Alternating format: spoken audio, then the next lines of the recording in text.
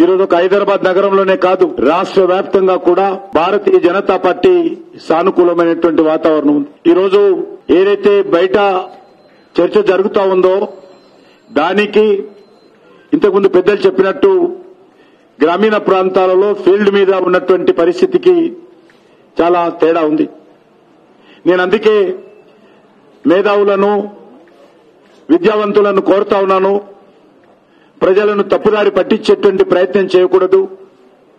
ఈరోజు ఈ రాష్ట్రంలో మరి ఉన్నటువంటి బీఆర్ఎస్ ప్రభుత్వం పైన అన్ని వర్గాల ప్రజలు తీవ్రమైనటువంటి వ్యతిరేకత ఉన్నారు.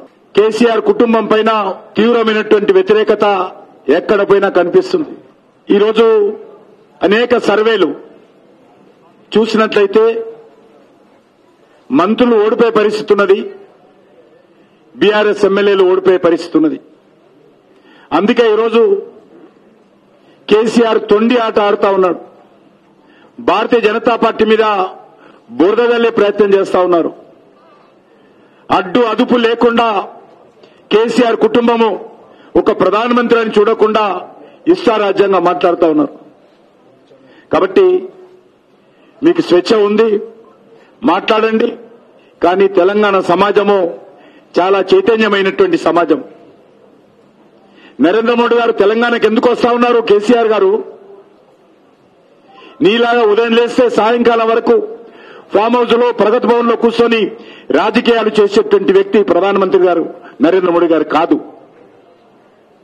ఉదయం లేస్తే సాయంకాలం వరకు ఈ దేశం గురించి ఈ దేశ గౌరవాన్ని ప్రపంచవ్యాప్తంగా ఇమ్మడింపు చేయడం కోసము దేశంలో మౌలిక వసతులు కల్పించడం కోసము దేశ అభివృద్ధి కోసము దేశంలో బడుగు బలైన వర్గాల సంక్షేమం కోసము పనిచేసేటువంటి నీతి నిజాయితీకి మారుపేరుగా ఉన్నటువంటి నరేంద్ర మోడీ గారు తెలంగాణకు వస్తుంటే మీరు ప్రగతి భవన్లో కూర్చొని